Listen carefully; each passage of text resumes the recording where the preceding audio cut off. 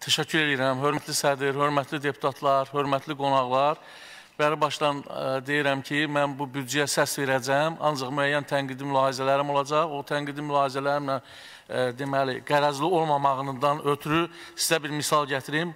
Xüsusən dünən biz İzmailov qalasının 1790-cı ildə alınması, 1414-cü ildə Sarıqamış deməli faciəsindən istifadə eləyərək ermənilərin Rusiya televiziyası ilə bütün Rusiya xalqını nahaqdan bayram eləməyə çağırmağı və bizi təhqir eləməyi mənim yadımdan çıxmır və bu onda deyirəm. Bütün Qarabağ məsələsi uzun illər ərzində Qordu düyününə çevrilmişdi. Bilirsiniz ki, Aleksandr Makedonski Qordu düyünü gəlib qılıncla kəsdi və o cür həll elədi. Və Minsk və digərlər bunu həll eləyə bilmirdi. Məhz cənab prezident bu Qordu düyünü özünün hərbi yolla, qılıncı ilə kəsdi, bunu həll elədi. Və bu ondan sonra, bu qalibiyyətli zəfərdən sonra yeni Azərbaycan doğulub. Artıq biz məğmun, yazıq Azərbaycan deyilik. Əvəzində şərəfli, vüqarlı Azərbaycanlıq, Azərbaycan vətəndaşıyıq, Azərbaycan siyasi xadimiyik və bu cür özümüzü aparmalıyıq və düşmənlərimizdə də bu ən yaxşı cavabdır. Amma başqa məsələlərdən demək istərəm. Onu da deyim ki, xahiş edirəm, bundan sonra kitab halında yenə təqdim olunsun bu hesabatlar. Bunun üzərində işləmək mümkün deyil, mən keyfiyyətli işləyə bilməmişəm və xüsusən 10 dəqiqəyə hazırlaşdığımı bilməm 5 dəqiqəyə necə təmkinlə çatdıra bilərəm. Mən e, e, İqtisadiyyat Nazirinin dünən çıxışını izlədim və o bir daha qeyd elədi ki, əmin 2030-cu ilə kimi iqtisadiyyatımız e, ümumdaxili məhsul 2 dəfə artmalıdır. Biz 4% təxminən e, deyək bundan bir qədər yuxarı deyək ki, e, ümumdaxili məhsulun artması nəzərdə tutmuşuq. Mən başa düşmürəm.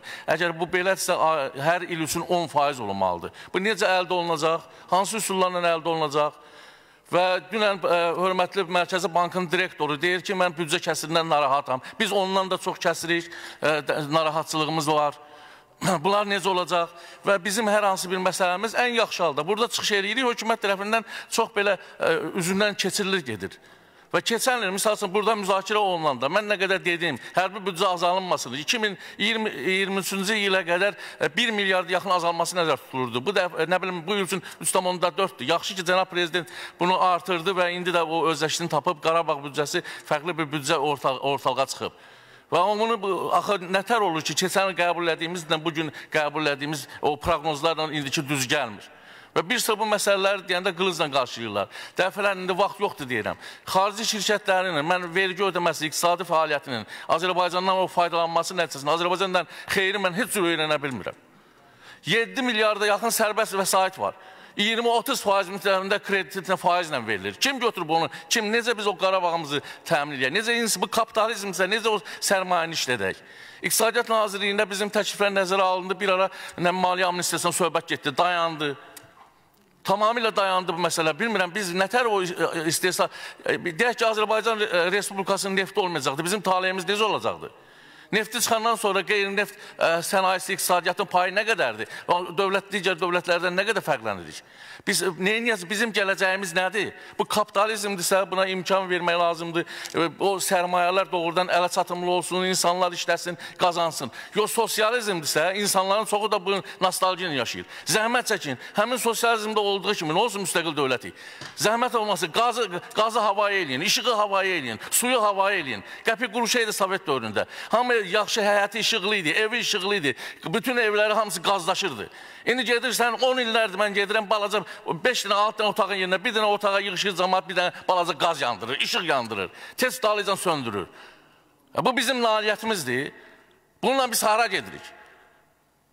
Xüsusən bəzən də sözlər işləyirəm, hətta şəhidlərin əleyhinə, nə bilim mən, qazilərin əlinə bəzi deyənlər var, təəssüf ki, bu vəzifəli şəxslər də var. Bəli, biz onlara hər cür borcluyuq. O balasını verib, canını verib, biz də zəhmət çəkməliyik, icra başçısı, bələdiyyələr, onların kommunal xərclərini ödəməliyik. Hansısa yolla, qərarla, nə bilim mən, sərəncamla.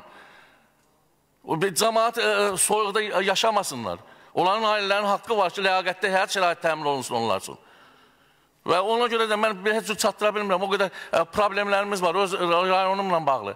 Deməklə deyil, insanlar ən çox mənə narahat edən ə, deməli telefon olmur, işıqlar kəsilir, onlayn təhsil yaman günə qalıb, uşaqlarımız təhsilsiz qalır.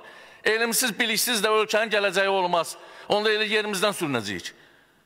Və ona görə deyirəm, cənab prezident dərin islahatlar xəttini götürür. Bu dərin islahatlar, struktural islahatlar olmalıdır, kadr islahatlar olmalıdır, korrupsiya və rüşvətxorluq aradan qalxmalıdır.